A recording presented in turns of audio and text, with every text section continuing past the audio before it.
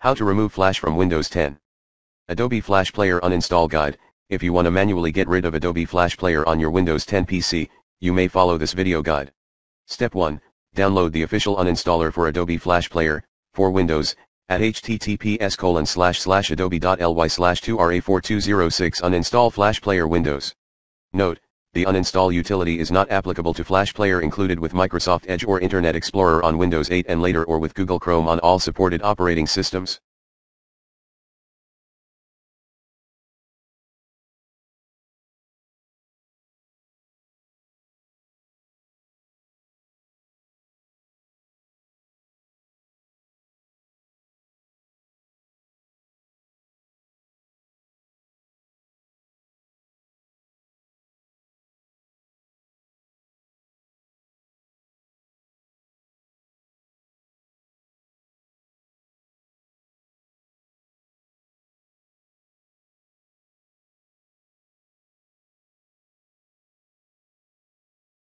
Close all browser application.